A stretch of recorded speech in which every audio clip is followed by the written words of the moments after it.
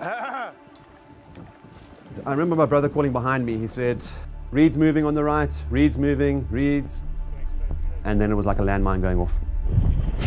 He fell down onto the hippo, jaws open, tusks exposed, and I swam for the bank.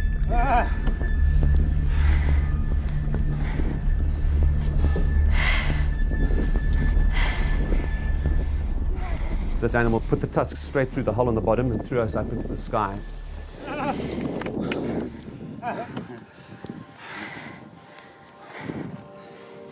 Damage to the.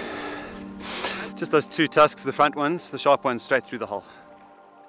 We were in the upper reaches of the Cuito River. This is the Okavango River's most important tributary. 14 of us were on this unexplored river.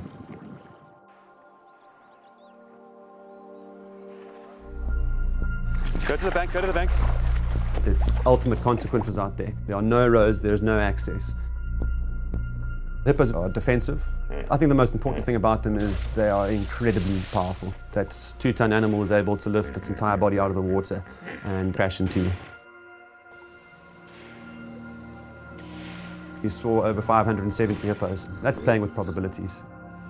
A little bit of a wake-up call today.